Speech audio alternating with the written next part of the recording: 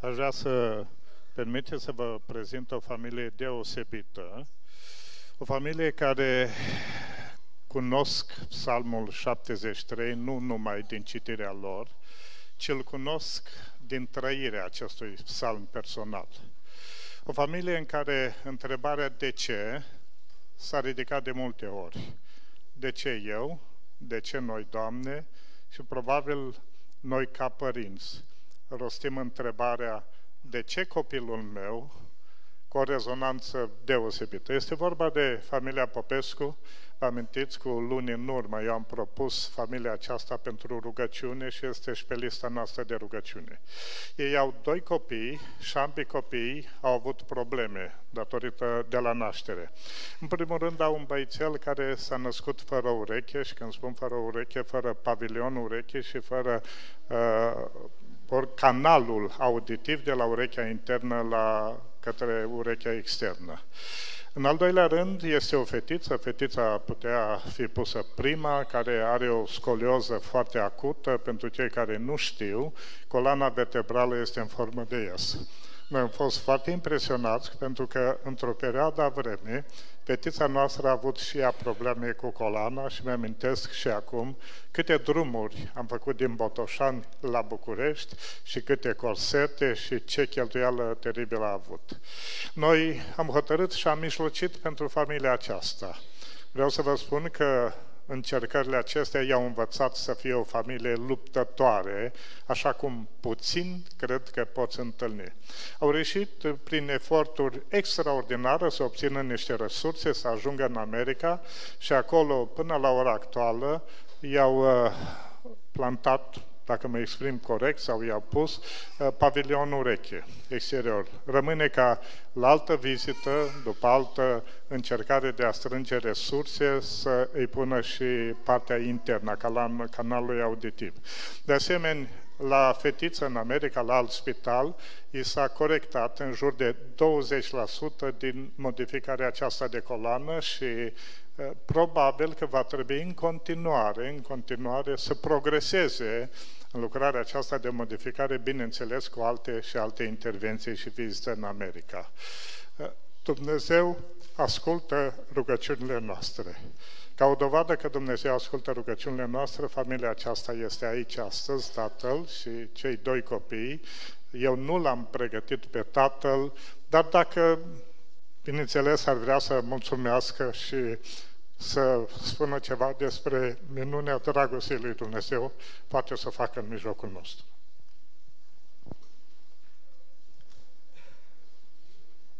Nici nu știu cum să încep, dar uh, sunt per, uh, profund emoționat să mă aflu astăzi în mijlocul dumneavoastră, cu ajutorul lui Dumnezeu. Eu vin din Biserica Evanghelică și merg acolo în fiecare duminică Copiii mei sunt aici, soția mea este în Olanda la o conferință pe care numai noi știm cum a ajuns și acolo, că marți dimineața la ora 3 am ajuns în țară, iar miercuri la ora 2 trebuia să plece acolo. Mulțumim lui Dumnezeu pentru voi și pentru rugăciunile voastre. Am avut nevoie și Totodată mulțumesc și părinților mei care mama este cu, noi, cu mine, să ave grijă de Luca. Luca este a patra săptămână după operație. Dacă vreți să vi le arătăm, Luca, vină lângă tati. Deci este o minune a lui Dumnezeu acest copilaj care ne l-a dăruit și vrem să-i mulțumim lui Dumnezeu pentru grija pe care ne-o poartă, pe scurt, nu știu cât am uh, timp, dar pe scurt uh, vreau să vă spun, uh, acesta este un pavilion reconstruit din un material care este cartilajul la ei se folosește Medpor, se numește. La ei se folosesc pentru articulații, iar a folosit pentru pavilion, pentru interior. Iar exteriorul este luat din uh, inghinal, de aici. Și ce are jos este nervul lui și interiorul aici, dacă se observă. Mulțumim pentru rugăciunile voastre. A fost foarte dificil pentru că trăim într-o țară așa de neajutorată, cum se zice pe românește, dar cu credința în Dumnezeu noi și mulțumim pentru aceasta. Am ajuns în state cu el. Uh, nu vrem să discutăm despre costurile operației pentru că cineva s-a oferit pentru el să suporte totul. Mulțumim doctorilor și mulțumim lui Dumnezeu pentru aceasta. El este Luca. Delia este acolo, fata noastră mai mare. Dacă vrea să ridice doar în picioare atâta, deja ea este foarte stresată cu corsetul care l-a primit de acolo, dar uh, am mers uh, în state cu 24, înainte, înainte, în 24 de ore înainte de vizita medicului, a zis să nu poarte nimic, să lăsăm să vedem cum lucrează coloana. Luni a început, o, ea a făcut o fotografie, adică un scanner, ei lucrează foarte mult pe scanner și pe uh, filmare, a avut 83 de grade fără corset, ce, ce înseamnă la noi în România deja era operată și tăiată, deci nu discuta, fără analize, fără nimic. Te bagă direct în operație.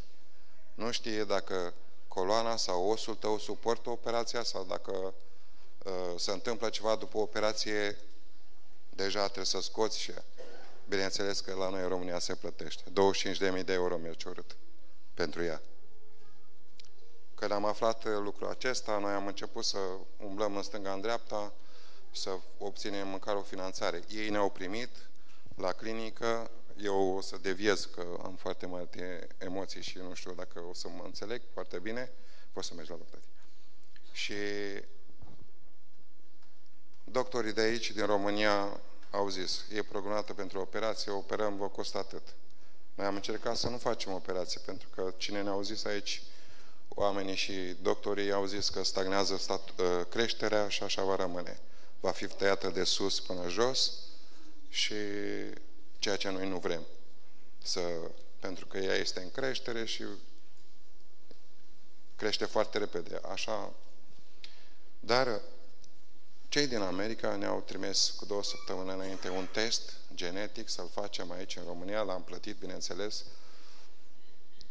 pe bază de salivă. Se pune într-un prubetă și se transmite în, acolo. Cu, cu trei zile după ce am ajuns noi acolo, au ajuns și rezultatele și fetiței noastre îi lipsește o enzimă care face transportul din sânge a vitaminelor calciu, vitamina D2, eurile și nu mai știu ce. Soția mea e mai intemă, eu nu prea...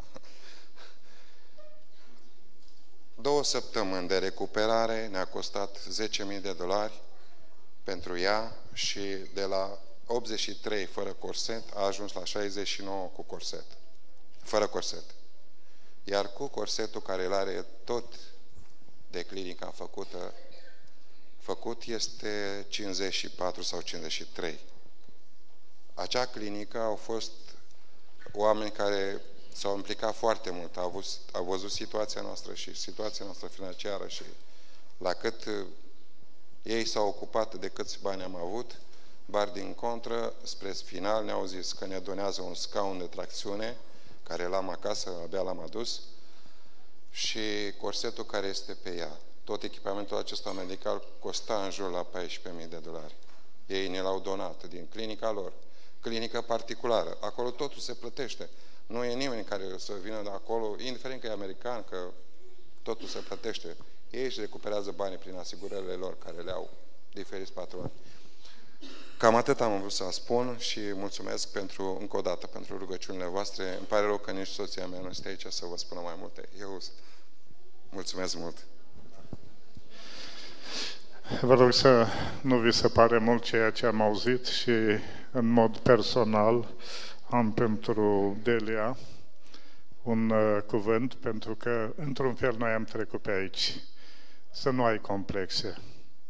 Ești cea mai frumoasă fată pe care noi știm și cea mai deosebită. Și ca să crezi lucrul ăsta, uite că te vom aplauda toți de biserică.